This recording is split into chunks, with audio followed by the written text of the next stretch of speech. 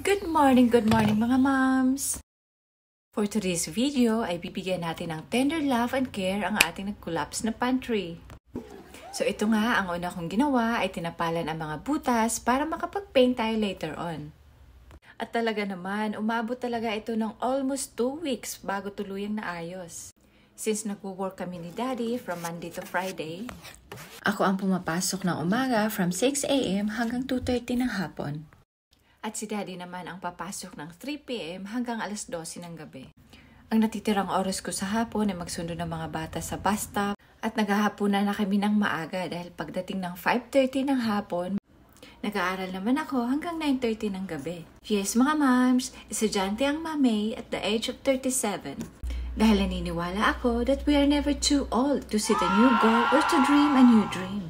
Ito pala ang gamit ko na filler sa mga butas, garantisadong mabilis matuyo. Bye! See you in the next one!